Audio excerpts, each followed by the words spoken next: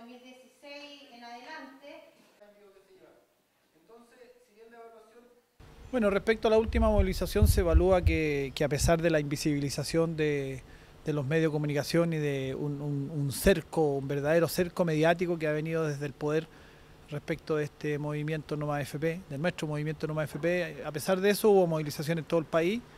no fueron los números que, que en algún momento esto tuvo, pero como ocurre con todo movimiento social, esto tiene sus ciclos y evidentemente estamos retomando el, tema de la movilización masiva y, en esa línea se evalúa positivamente la jornada realizada el 31. Hay consenso en que el proyecto que, ingresó el gobierno al Parlamento es un proyecto eh, que en el fondo solo alimenta la consolidación del sistema FP, no es un cambio estructural de ninguna manera y además de, de ser eh, un fortalecimiento a las AFP, no va a mejorar las pensiones. Finalmente el aumento de contribución por parte de los empleadores va a terminar simplemente reemplazando la, baja de rentabilidad y por lo tanto a la larga van a seguir siendo prácticamente las mismas pensiones, bajas, miserables, absolutamente injustas. Es claro que este es un sistema fracasado y se ha visto también estrategias para reactivar y seguir impulsando fuertemente eh, la movilización cada vez más masiva y también el realizar acciones que rompan el cerco mediático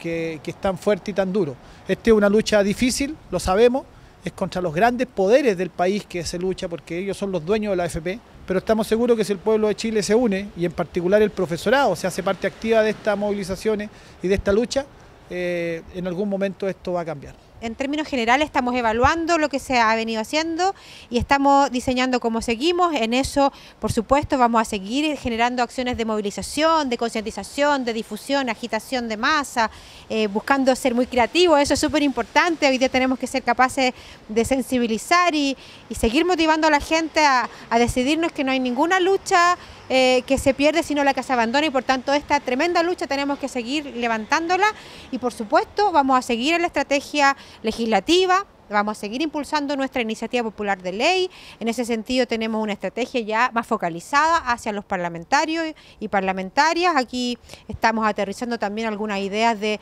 finalmente denunciar o funar, si se quiere, a aquellos parlamentarios que le dan la espalda a la ciudadanía. Y es decir, vamos a seguir caminando en esta lucha y por eso es tan importante que eh, la gente siga convocando eh, a nuestros llamados y ojalá también que se comprometa a militar en las coordinadoras territoriales de Arica Magallanes para seguir dando esta tremenda, importante pelea. En el campo judicial estamos analizando una cantidad de estrategias para eh, generar denuncias a lo largo del país, los aspectos más de detalle los estamos viendo con algunos asesores judiciales, de forma tal que no nos contentemos solamente con la estrategia legislativa y judicial, sino que además también sumar esto a la agenda fuerte de movilización. Tenemos que avanzar a esta gran idea que es la huelga general, pero eso no supone hacerlo solo, tenemos que ser capaces de sumar a otros actores con el propósito de que entre todos hagamos sentir al Estado que la ciudadanía, la gran mayoría, no está dispuesta a seguir tolerando la conculcación de derechos. No sé si leíste en el diario o te habías enterado de otra forma la propuesta de la CUT en términos provisionales. ¿Qué, merece, qué comentario te merece y qué es lo que elemento hay que conozcas tú de eso? Sí, eso nos, sorprende totalmente, no tenemos antecedentes, ahora estamos pidiéndole una explicación porque hasta donde intentemos ellos habían señalado que asumían íntegramente la propuesta de la coordinadora Norma FP, entonces encontrarse con esto en el periódico es una cosa que sorprende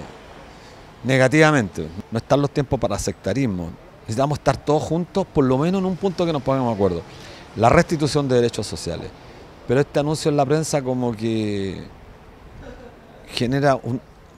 un derrotero, genera volver atrás nuevamente, a las desconfianzas. De alguna manera explica por qué hoy día hay un descrédito hacia algunas organizaciones, porque claramente no, no está en la línea, como digo, de alinearse frente a una única propuesta. Aquí la pelea más que técnica de tener miradas desde el mundo de la academia tiene que ver con la necesidad de la unidad en la acción y por tanto esperamos que esas cosas sean realidad y no teoría, es decir, pedimos un poquito de consecuencia y de respeto para el trabajo que hemos venido desarrollando.